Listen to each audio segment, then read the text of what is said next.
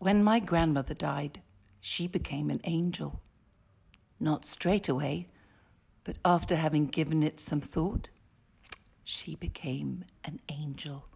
I had told her not to die because I didn't want to be without her. She said, I'm really sorry, however, it's not something you really decide yourself. I don't really know what will happen to me when I'm dead. But then again, it might be quite exciting. You'll become an angel, I said. And then I cried. The day grandmother was buried, I cried and cried. But then that night she came to visit me. What are you crying for? she asked. Well, I'm crying because you're dead. Am I dead? Well, well, well, well, but I'm sitting right here, aren't I? Yes, but you don't look like yourself, and we buried you this afternoon. Hmm, that is sad. I'm actually feeling rather all right. Then grandmother took out the vacuum cleaner and started to vacuum clean. We'll wake up the whole house, I said. Never mind, said grandmother. It's a right old mess in here. Now I'll show you how nice it'll be when it's all tidy. And she got me to clear up my room. We worked all night. The next day, grandmother went to the kindergarten with me. My grandmother died yesterday, and now she doesn't really know what to do with herself, I explained. Oh, really? said the teachers. Are you sad about it? Not really, because she's looking after me. Grandmother said hello to everyone, but it seemed like they couldn't hear her. Oh, they're probably too busy, she said. And then we sat down and painted. I made a painting of a funeral, and grandmother drew a flower. Goodness me, I am so good at this. I really want to be a painter. That evening, grandmother did feel that she was dead.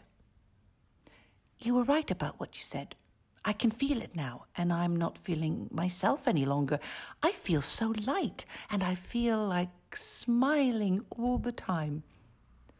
That's because you're becoming an angel, I said. What do angels do? asked grandmother. They fly up to the other angels in heaven, I told her. But I would much rather be here with you, she said. Well, you can always come back and visit me. That's true, said grandmother. Then I better get going. Take care, my precious. And then she flew straight up through the ceiling and disappeared. Now grandmother has become an angel, I said. Yes, I believe she has, said my mother. And then we didn't really need to talk about it again. Many days and many weeks passed by. I felt so lonely, and I couldn't quite figure out why grandmother didn't come back and visit me. But then one evening, just as I had gone to bed, she came flying through the window. She'd gotten wings and looked much younger. Ah, there you are, my boy, in bed. Yes, in bed. Where have you been? Oh, so many places. Do you want to hear what I've been up to? First, I came to heaven, and you were absolutely right. I am dead. Have you become an angel? Kind of.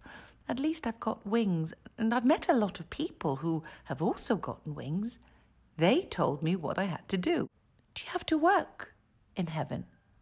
Yes, isn't it wonderful? You know how I love to keep myself busy.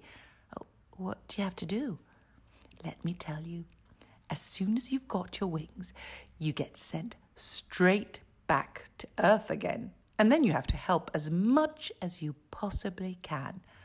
It isn't as easy as you think, though, because you must remember I'm invisible. I can see you. Yes, it's slightly different because you know me already. Oh, never mind, tell me. First I found a family who were sound asleep in their burning house.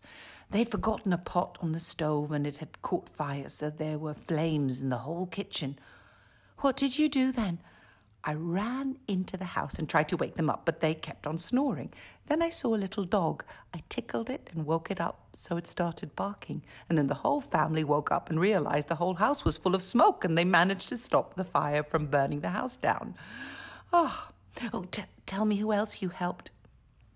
Well, where do I begin and where do I end?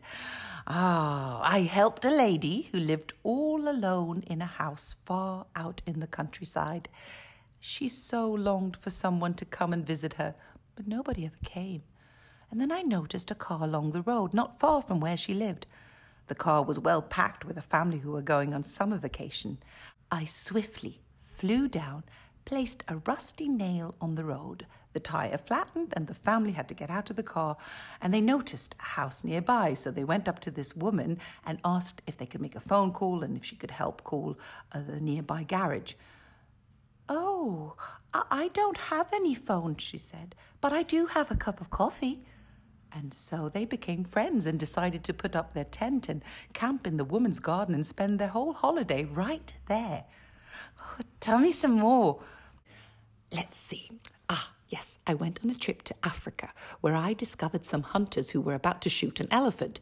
As soon as I noticed them, I picked up a stick and I put it into a nearby beehive. So all the bees got out and they were so angry and they thought it was the hunters. So they chased them far, far away. Have you saved other animals? Yes, I rescued a teddy bear who had gotten lost. It lay under the cupboard and the, the girl couldn't find it. What did you do then? Well, I knocked over some juice by the cupboard, and when the mother went to clear it up, she noticed the teddy bear lying there underneath the cupboard. Oh, it must be really good fun being an angel, I said. Yes, indeed it is. It's lovely as long as it lasts, said Grandmother. But um, there is something that is far better. What's that? Mm, that you get to be a human again. What? You wake up and then you're not dead at all? Better than that, said Grandmother. You get born again and become a whole new human being. And you know what? No, you get to choose who you want to be. Oh, well, do you want to be a painter then? Mm, maybe. But first, I want to be your little sister because I so want to come back to you again. But I don't have a little sister, I said. Nope, but you will, said Grandmother. And then she flew up through the ceiling and disappeared. And then Grandmother got reborn.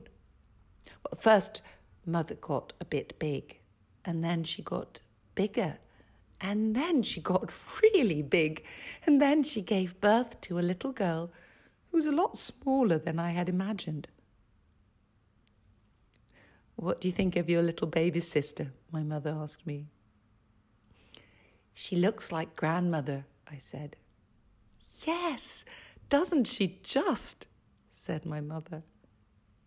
And that was all that needed to be said about that.